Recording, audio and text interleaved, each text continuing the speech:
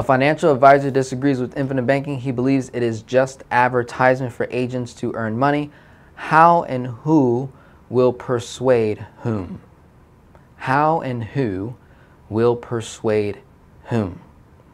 So, um, there are very few financial advisors that endorse the infinite banking concept. Very few. I think that's mainly in part because it's not a part of their portfolio.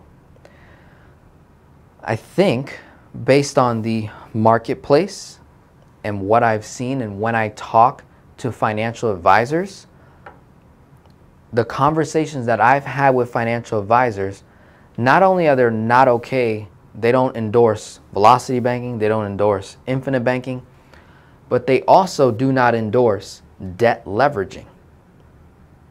So that's, it's like, okay, so that means that the only strategy to create financial freedom in their mind is to invest in a 401k, in an IRA, in a mutual fund, stocks, bonds, mutual funds, index, S&P, all products that they sell.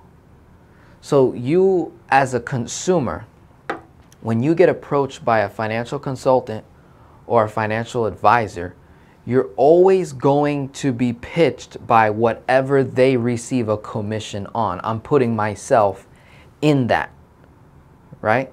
So me personally, I'm a, I consider myself a financial consultant, not an advisor. If somebody says they're an advisor, that means they have a license. They're authorized to sell you financial investment products. Okay? A financial consultant is more takes a more holistic approach. Hey, what do you want? Who are you? What's your purpose in life? Where are you going? What are your goals? How many kids you got? Wife, husband? What are you doing? What are you working on? Where do you want to go? How, how big do you want to build this, right? Different approach. Totally different approach. Financial coaching, same thing. They look at the mental blocks, you know, they try, they try to look back and see what your relationship with money is and then where do I deploy that? Typically, the financial coach and the financial consultant has a relationship with the financial advisor. So once they get your money right, the consultant, me, once I get your money right, and the financial coach, when they help you get your money right, they're just going to push you to someone that they're affiliated or partnered with. Again, I'm putting myself in this box. They're going to put you with someone that you're affiliated, that they're affiliated with, that, that they'll receive a commission, referral commission off of. That's just how the, the, the system operates. What I like to do is bring a little more transparency and say, hey, if you want to do that, go talk to this person, reach out to this channel.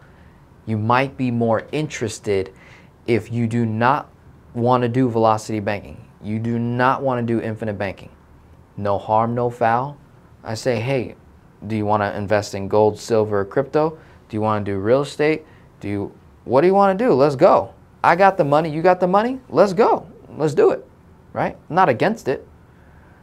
It's just a matter of where, you know, what your goals are and who do you, who do you know, like, and trust. That's going to help you build that financial future, that financial legacy that you're going to be proud of. That's what it boils down to. Who do you know, like, and trust? And how do you move forward? Okay?